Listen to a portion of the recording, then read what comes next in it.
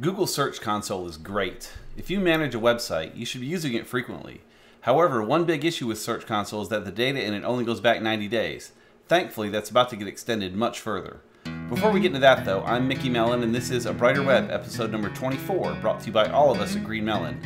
Our goal with this podcast is to give you quick weekly insights for news, products, and ideas so we can all make the web a brighter place to be. These might be actual web tips talking about strategy, search engines, WordPress plugins, and UX, or it might be productivity ideas to help you get more done and free up your time to do great things. We also want to thank our sponsor, ClickHost.com. ClickHost provides top-rate web hosting at prices as low as $5 a month. Visit clickhost.com slash ABW for an exclusive 20% off discount for listeners of Brighter Web. Today we'll talk more about Google Search Console data going back a full year, Beaver Builder 2.0 released, and lots of other news from Google. Let's dig in. So as I mentioned at the top, if you run a website and you don't use Google Search Console, you probably should.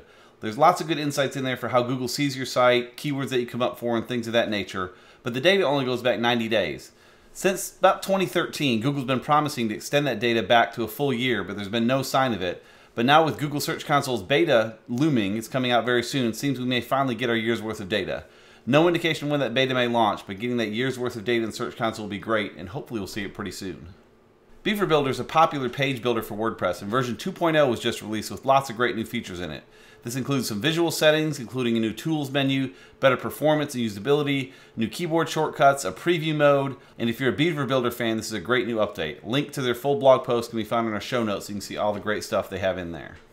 Since pretty much the beginning, your choice of the Google domain that you use, such as google.de for Germany, would influence the results you got. No longer. From Google, they're saying, quote, Today we've updated the way we label country services on the mobile web, the Google app for iOS, and the desktop search and maps. Now the choice of country service will no longer be indicated by domain. Instead, by default, you'll be served the country service that corresponds to your location. So if you live in Australia, you automatically receive the country service for Australia, but if you travel to New Zealand, your results will switch automatically to the country service for New Zealand. Upon return to Australia, you will seamlessly revert back to the Australian country service. So in short, what they're saying is you used to be able to get country-specific results just by going to the other country domain name for Google, again, such as google.de for Germany, and that's no longer the case. Google knows where you are. They'll serve up results that are specific to what you need based on where you are, which really makes it better for the average user, a bit trickier for webmasters and SEOs to be able to test in other countries, but there's other ways around that. So just be aware of that as you're doing your searches. If you use Google on mobile, you may notice a subtle little change starting to roll out. The first major redesign since 2013, they're rolling out a curved interface on mobile devices. It's a fairly subtle change, but looks very nice. You can see some screenshots of that in our show notes.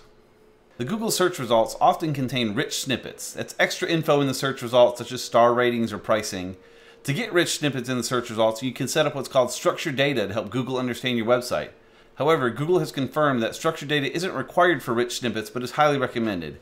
Google's John Mueller said, quote, yeah, though as far as I know, it's rare. If you really want them, I just use structured data. It's cleaner. So he's saying it can happen. You can get those rich snippets if Google understands the data on your site and thinks they can do it for you.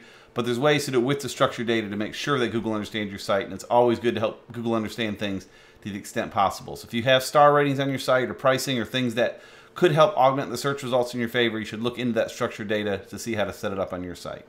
When Google's Panda update came out, which targeted sites with thin content, Many sites simply pruned that thin content from their site to help escape the penalty. However, Google's Gary Illyes said at SMX last week that, quote, pruning low quality content will never work for Panda.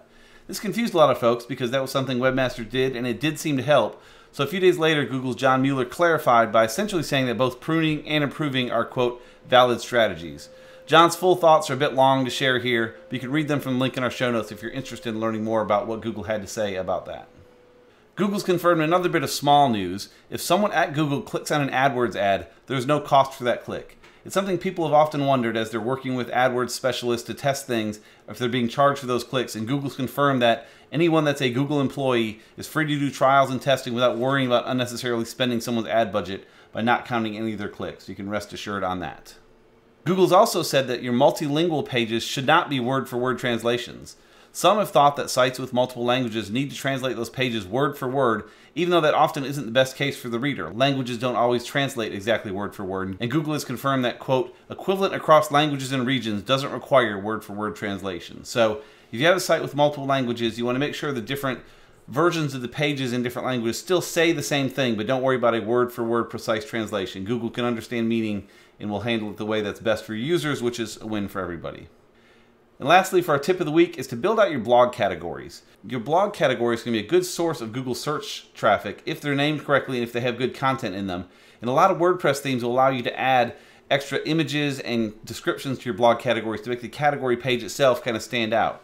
So if you have a category all about a certain kind of tip or a certain kind of product, you should spend some time on that category page because that category page may rank well for that tip or for that product in the search results. And when people land there, you want to make sure they have a good experience.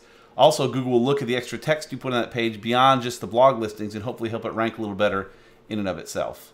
And that's all we have for this week. You can find me on Twitter at Mickmel, M-I-C-K-M-E-L, or learn more at greenmelonmedia.com. And you can find out more about the podcast, including show notes and links, as well as video tutorials and many other resources over at abrighterweb.com. If you're in the Atlanta area, come check out our meetup held three times each month. And if you're not in the Atlanta area, we post recaps on the site soon after each meetup. Either way, you can learn more about that at abrighterweb.com slash meetup. Thanks for listening.